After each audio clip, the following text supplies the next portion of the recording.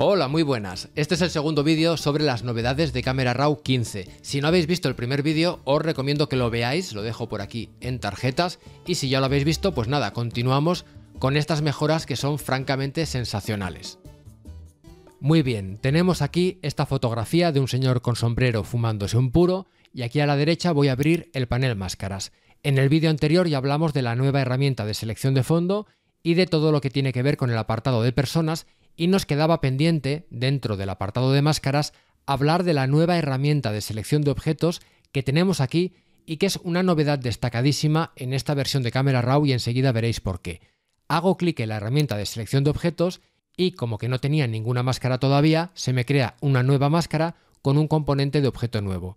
Aquí encuentro los controles de esta herramienta de selección de objetos, que básicamente son dos, el pincel o el rectángulo. Son dos formas de indicarle la zona donde está el objeto que quiero que seleccione. Vamos a intentar seleccionar el puro.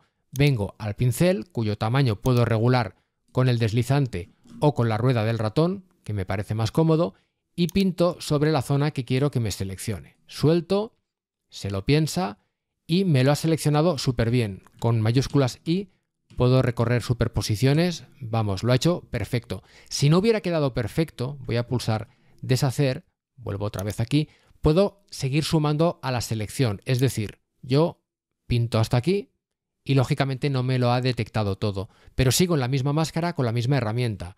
Puedo volver a pintar hasta que todo el puro en la máscara esté seleccionado. Tendría que ir añadiendo. Voy a pulsar Control Z otra vez para mostraros con objetos el otro sistema, el rectángulo, que aunque es menos preciso, la verdad es que da muy buen resultado. Trazo un rectángulo y como veis me lo ha seleccionado súper bien y con mucho menos esfuerzo. Quito la superposición con esta casilla y ahora podría aplicar aquí los ajustes que yo quisiera aplicarle. Si ahora quiero crear otra máscara de otro objeto, por ejemplo el sombrero, puedo dibujarlo o trazarlo desde esta máscara o bien, si quiero ajustes diferentes, crear una nueva máscara y de nuevo objetos. Se crea una nueva máscara y otra vez un componente de objeto. En este caso, con el rectángulo todavía, voy a marcar el sombrero. Es una selección así muy amplia, pero vamos a ver qué tal lo hace. Increíble, ha hecho una selección perfecta, me parece a mí, del sombrero. Está súper bien. De nuevo, ahora yo podría venir aquí y aplicarle los ajustes que me pareciera oportuno. Cabe señalar que esta herramienta no solo sirve para objetos claramente identificables, sino que la puedo usar para tratar de seleccionar cualquier área de la imagen que esté razonablemente diferenciada del resto. Por ejemplo, podría venir aquí a seleccionar objetos y tratar de seleccionar esta parte de la camisa. No sé muy bien qué pasará. Bueno, más o menos veis que ha detectado el hombro y ahora yo podría añadir o restar de aquí lo que hiciera falta. Bueno, ya vais viendo que esta herramienta es francamente una pasada, pero vamos a ver algún ejemplo más. En un caso como este, si hubiera querido seleccionar la miel o lo que sea esto, habría sido un poco complicado porque quizá con gama de color engancharía una parte, pero esta parte es muy luminosa.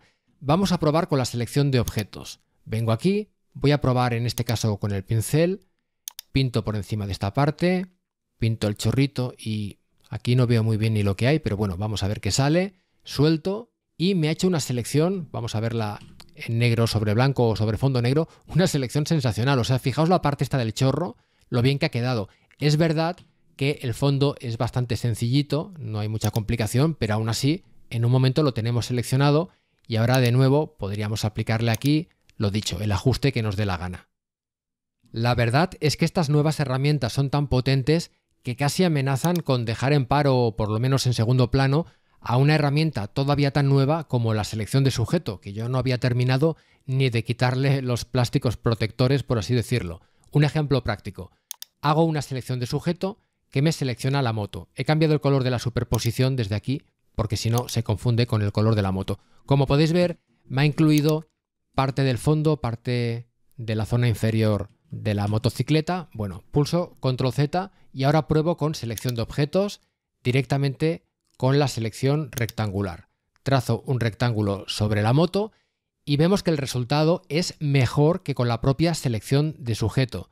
De hecho, ni siquiera la parte de debajo ha quedado incluida.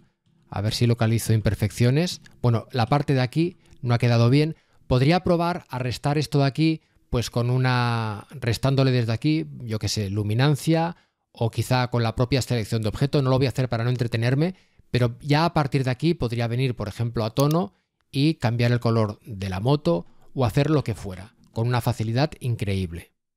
Otro ejemplo práctico muy rápido, vengo a objetos, trazo un rectángulo sobre el coche y ya lo tengo seleccionado. A partir de aquí, aplicar los ajustes que queramos. Como os comentaba, por supuesto, todas estas herramientas pueden combinarse entre sí, sumando, restando, intersectando, etc., para multiplicar su potencia y versatilidad. Por ejemplo, aquí tenemos un caso que vimos en el vídeo anterior, donde si yo vengo a máscaras y quiero seleccionar solo al chico, me está incluyendo también a la chica. Bueno, realmente no es problema. Creo una máscara de toda la persona y ahora para restar la parte que no me interesa, vengo a restar y le digo que quiero seleccionar objetos restando de esta máscara. Marco que quiero usar la selección rectangular, a ver qué tal resultado me da. Trazo sobre la mano de la chica, suelto y en un momento, como veis, me ha eliminado la mano. Sí que veo que me falta un poco del pulgar del chico. Voy a probar a añadir también con selección de objetos, a ver qué tal resultado me da. Trazo el rectángulo, suelto y lo he añadido súper bien. Aquí parece que falta otra zona si no me funcionara, pues bueno, podría pintar con el pincel, pero en fin, ya veis que muy fácilmente corrijo la selección. Pulso ahora la tecla Y o Y o marco esta casilla de aquí para quitar la superposición y ahora ya podría afectar selectivamente al chico sin afectar a la chica. Así que aunque la selección de personas no sea perfecta, entre la selección de objetos de persona de sujeto se está simplificando de una forma inmensa la capacidad de seleccionar muy rápidamente exactamente aquello que queramos. Lo cual, bueno, tampoco hace falta que os lo cuente porque seguro que se os ocurre a vosotros mismos, pero se me ha ocurrido decirlo. Dejamos ya el apartado de las máscaras y pasamos a otro apartado del programa que ha recibido mejoras sustanciales, que son las herramientas de clonado. Para acceder a ellas venimos a este icono de la herramienta corregir, creo que le llama, o bien pulso la tecla B y accedemos a este panel. Antes disponíamos ya de clonar y corregir, pero se accedían a través de un desplegable. Ahora tienen iconos de herramienta propia. Y como novedad tenemos la corrección o eliminación según el contenido. Vamos a hacer un poco de recordatorio e ir comentando las novedades. Primero de todo, si yo vengo a clonar, que ya existía, y por ejemplo selecciono el número de la casa, veréis que cuando empiezo a pintar el trazo es transparente. Antes era opaco, era todo blanco y era muy antipático porque no sabías si te habías quedado demasiado cerca del borde de lo que quieres eliminar o no. Solo esto, que parece una tontería, de verdad que es una maravilla. Bueno, suelto y ahora la herramienta ha buscado un origen o una zona de muestra para rellenar esto. ¿De dónde? No lo veo. Bueno, he de marcar mostrar superposición o bien pulsar la tecla V. Yo a partir de ahora lo haré con la tecla V, no lo estaré repitiendo todo el rato, pero que sepáis que lo hago con la tecla V. Puedo arrastrar esto para que tome muestra de otro sitio, pero en todo caso no hay adaptación de color. Si quiero usar adaptación de color, paso a la herramienta corregir, hago clic y la misma zona que he pintado pasará ahora a aplicar el método corregir. En este caso, como veis, sí que adapta el color a la zona de donde yo he marcado, ¿no? Bueno, esto ya existía. La novedad es la herramienta eliminación según el contenido. Hago clic y en este caso, como veis, no hay ningún origen del que yo le tenga que marcar nada. Automáticamente ha creado su textura, digamos, y la ha aplicado aquí. En este caso no se ha lucido mucho, no me gusta, así que puedo hacer dos cosas. Una es darle a actualizar, no funciona bien, o pulso control o comando en Mac, hago clic y arrastro y con esto le indico de dónde quiero que tome la textura. Suelto y de esta forma el resultado es mucho mejor.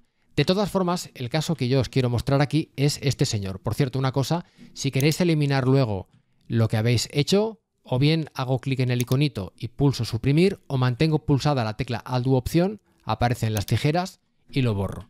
Bueno, como decía, vamos a ver cómo eliminar a este simpático señor que queda muy bien en la foto, pero que nos vendrá bien para hacer prácticas de esta herramienta. Primero voy a utilizar la herramienta clonar y voy a pintar por encima de este señor. Recordad, por cierto, que mientras pintáis, sin soltar el botón, podéis darle a la rueda del ratón para aumentar el tamaño, lo cual simplifica bastante este proceso. Porque si soltáis ya se aplica el clonado o el relleno o lo que sea y luego tendríamos que combinar varios elementos. Bueno, yo creo que así está bien, suelto el botón y como veis, la herramienta de clonar, bueno, hace lo que puede, pero no acaba de quedar bien porque se notan mucho los contornos. Si cambio al modo corregir, adaptará mejor y la verdad es que queda muy bien, aunque se nota mucho esta repetición del patrón de fondo. Está bien, pero ya digo, podría estar mejor. Si vengo a eliminación según el contenido, recalcula y da un resultado que aunque en la parte inferior ahora se ve, quizás ha sido el momento de hacer el cambio, en la parte inferior se ve un poquito más raro, pero ha creado mejor el fondo, no se ve una repetición. Aún así, si no me gustase, le podría dar a actualizar y buscaría otra zona. Como veis queda súper bien y ha sido muy fácil de aplicar. Por supuesto, si quiero aplicarlo otra vez, pues simplemente vuelvo a pintar otra vez con la misma herramienta por esta zona, suelto, recalcula y ya está. Si esto lo veo como una repetición, pues pinto. Si volviera a salir una repetición arrastraría con control y le diría de dónde quiero que tome textura. Muchísimo más control para clonar cosas. La verdad es que es una mejora que se había pedido durante largo tiempo y que por fin tenemos en Camera Raw. Vamos a ver algún ejemplo más. Veamos un último ejemplo de este tema. Supongamos que quiero eliminar el texto de este flotador. Este tipo de casos eran o son muy típicos y me daban mucha rabia porque son situaciones donde realmente la textura en sí, el blanco en este caso del flotador, es muy fácil de reproducir, pero con las herramientas antiguas, entre comillas, era muy complicado que te generase la textura suficiente para cubrir el texto. Pero esto ahora se ha vuelto muchísimo más fácil. Vamos a venir con la tecla B a estas herramientas y voy a empezar por clonar o cualquiera, aunque ya sé que no voy a poder o como mínimo va a ser mucho más difícil. Muy bien, suelto y el problema, como decía, es que no hay de dónde tomar textura. Podría ir haciéndolo por trocitos, pero bueno, es para morirse. Si le doy a corregir, mm, la cosa no cambia mucho. Pero si le doy a eliminación según el contenido, como veis, la cosa ya ha quedado muchísimo mejor y solo me queda acabar de hacer algunos ajustes, que de hecho me voy a atrever a hacerlos con un solo trazo, hacer algunos ajustes para que esto quede perfecto. Si ahora me vengo a la parte de abajo, lo voy a tener todavía más fácil porque ahora le puedo indicar la zona superior. Suelto el botón, como veis no ha quedado muy bien, pero como os decía, ahora puedo venir a la parte de arriba, voy a reducir un poco, y con control clic o comando clic puedo marcarle esta zona para que tome textura de aquí.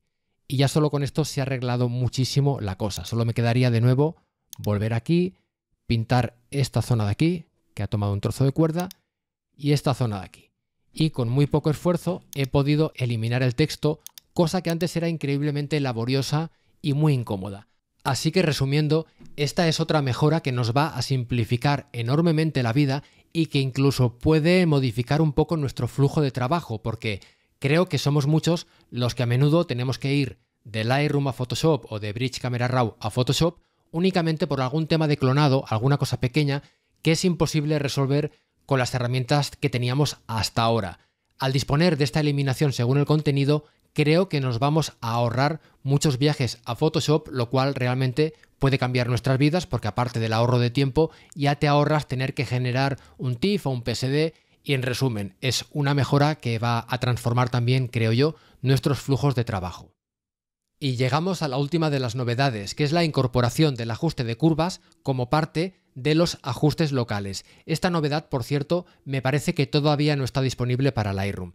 Antes de seguir, una pequeña aclaración o recordatorio para quien ande un poco perdido.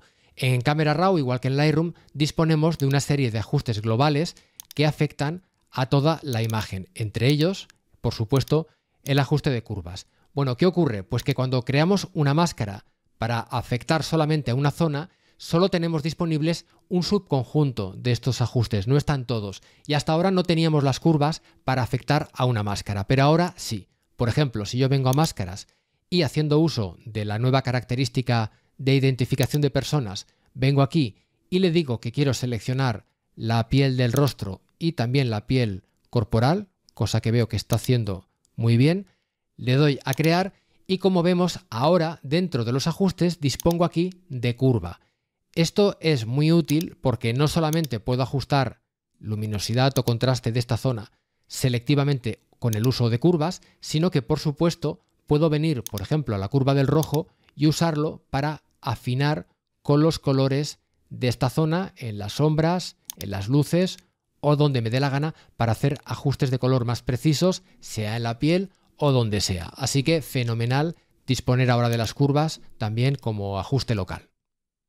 Antes de acabar, aprovecho para mencionar una cosa que se ha introducido también en esta versión de Camera Raw, pero que solo está disponible para usuarios de Mac y que es experimental. Se trata de que si vais a preferencias, previsualizaciones de tecnología, encontraréis esta opción que yo no puedo mostrar porque no tengo Mac, que se llama salida HDR. Si disponéis de una pantalla compatible con HDR y editáis archivos HDR, entonces Camera Raw hará uso de esta característica y lo podréis ver también indicado aquí en la pantalla. Podéis visitar este enlace de Adobe, si me acuerdo lo dejaré en la descripción o en la entrada de blog, para obtener más información al respecto.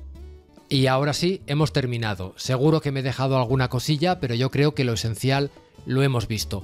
Me voy a ahorrar prácticamente las conclusiones porque yo creo que los ejemplos hablan por sí mismos. Son unas mejoras increíbles y que de hecho creo que van a cambiar incluso nuestro flujo de trabajo porque nos vamos a ahorrar muchas visitas a Photoshop.